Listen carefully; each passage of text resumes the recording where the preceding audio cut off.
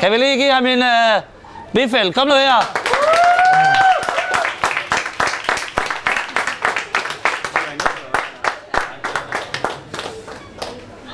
Tre, to, en, nu!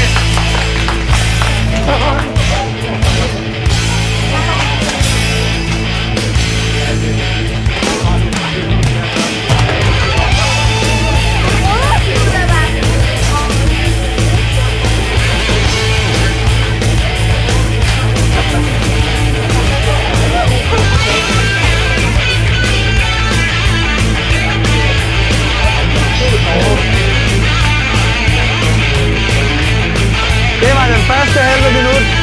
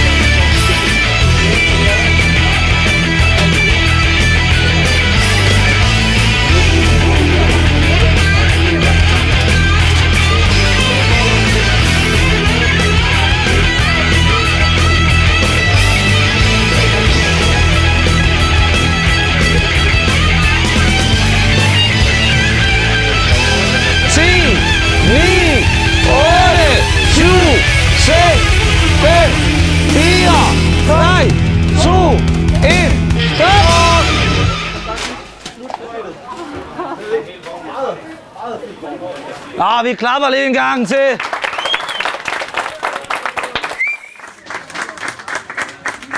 Han ser glad ud. Hvordan har du det, Lars? Er du Ja, ja, tilfreds? Ja, det er egentlig. Jeg aner ikke, hvad jeg har fået op i, men øh, Og det var, det var lige til... Der var altså meget, meget forskelligt godt her.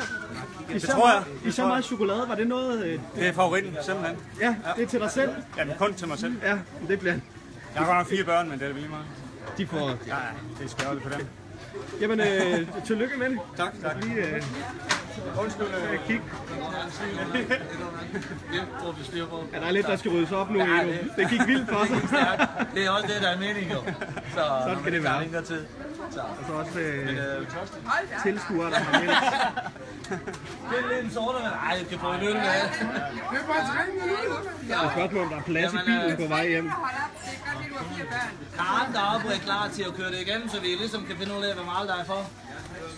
Nu skal der så samles, øh, samles til bunke. En stakkels kasse ekspedient, der skal have scannet alt det her igennem. Og der er meget. Der er virkelig øh, blevet fyldt op, og det er altså alt muligt. Der er is, der er kylling, der er, øh, der er kaffe, chokolade, bolcher, skumfiduser. Man fornemmer, at det er en mand med en sød tand, der har været ude og, og tømme butikken her. Også kunne følge med dernede, jo. Det er, det er lige til en omgang diabetes. Der er masser af, af fede sager. Og det går altså stærkt her. Jeg ved ikke om... Der er også en form for konkurrence. Det går, øh, det går rigtig hurtigt. Mere is. Lækker islagkage. Diablo